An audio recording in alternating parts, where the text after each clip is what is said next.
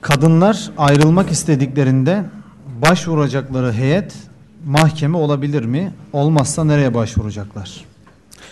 Ha, o bugünkü yapı içerisinde tabi resmi nikah var biliyorsunuz. Maalesef resmi nikahtan boşanma son derece zor şartlara bağlanmış. İşte bu Katolik dünyasının kanunu o. Katolik dünyasında biliyorsunuz kilise boşanmayı kabul etmiyor. Yasalar da ona göre yapılmış.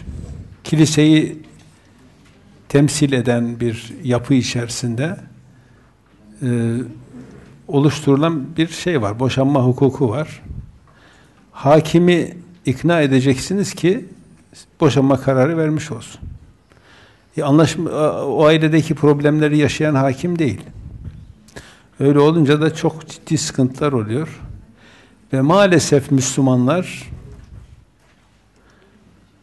burada bu tür şeylerden istifade ederek karı koca bazen kadın bazen koca birbirine karşı zulme mahkemeyi alet ediyor. Bu konularda son derece dikkatli olmak lazım.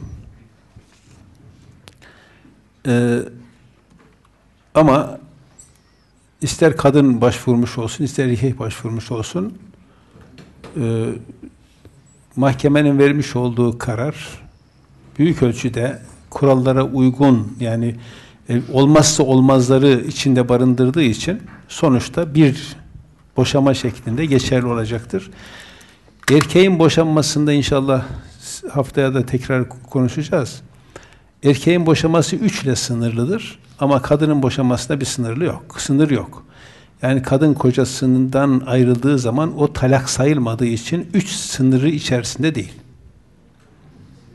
Orada o üç, sınır içerisinde değil. Yani kadında ayrılmada herhangi bir sayı söz konusu değil.